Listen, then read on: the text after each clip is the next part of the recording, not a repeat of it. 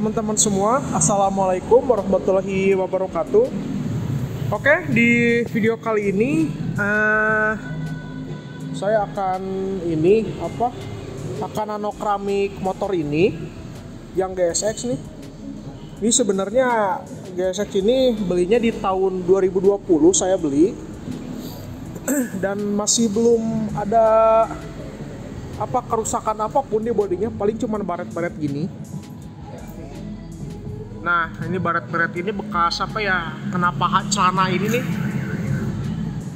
Jadi ini bakal di nano keramik sebelumnya juga udah pernah di nano keramik tapi uh, ini yang kedua kalinya gitu. Ini di nano keramik terakhir itu waktu pertama beli langsung di nano keramik nah makanya ini ya sekarang bakal di nano keramik nanti kita lihat aja hasilnya.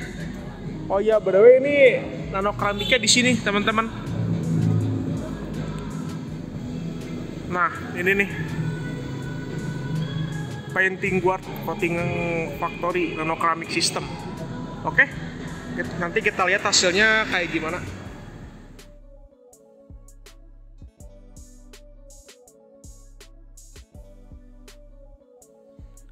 Nah ini teman-teman uh, motornya udah selesai di nano seramik ya.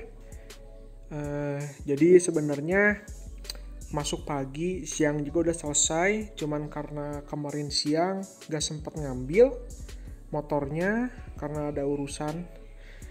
Uh, jadi baru bisa saya ambil di keesokan harinya gitu teman-teman. Jadi untuk nano keramik ini sebenarnya nggak butuh waktu yang begitu lama lah.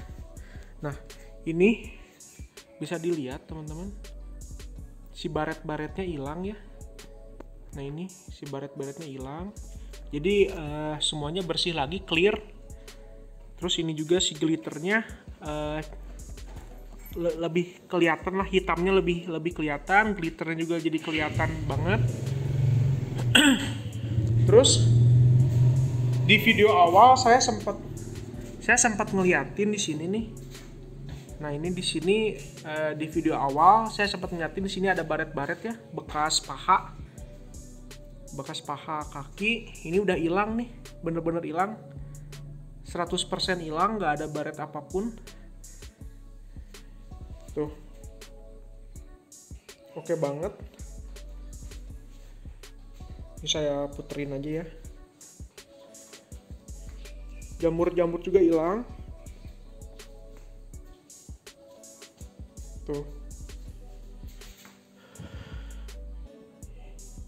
Ini yang apa?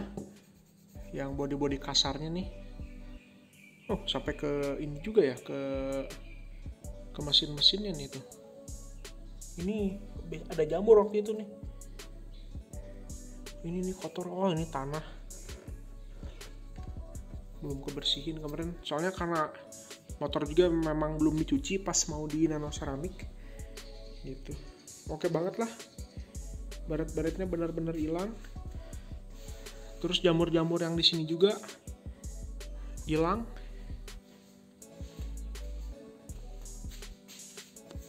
Cuman ini ini dadas dadas yang kayak gini mah memang nggak bisa hilang teman-teman ya.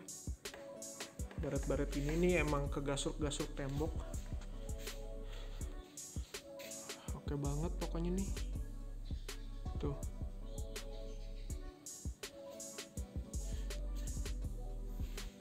Jadi karena ini si motornya sebelumnya juga pernah di nano seramik. Jadi untuk uh, nano seramik yang saat ini tuh sebenarnya perawatan aja teman-teman kata si bapaknya. Jadi nggak bayar full untuk nano seramik. Jadi cuman bayar khusus perawatan aja gitu. Karena sebelumnya udah di nano seramik gitu. Jadi ya lumayan lah. Uh, kedua tahunnya baru di perawatan lagi, baru di apa nano seramik lagi gitu teman-teman. Untuk harga perawatannya sih ini 250.000 tapi kalau waktu pertama kali di nano seramik uh, saya lupa itu bayarnya berapa.